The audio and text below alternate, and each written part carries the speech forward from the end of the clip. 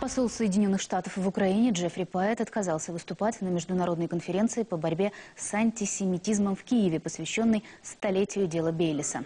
Там были дипломаты из разных стран, был и Джеффри Пайет. Однако, когда пришла очередь его доклада, на трибуну не вышел. Пресс-атташе посла объяснила, Вашингтон запретил давать какие-либо комментарии в связи с шатдауном в Америке.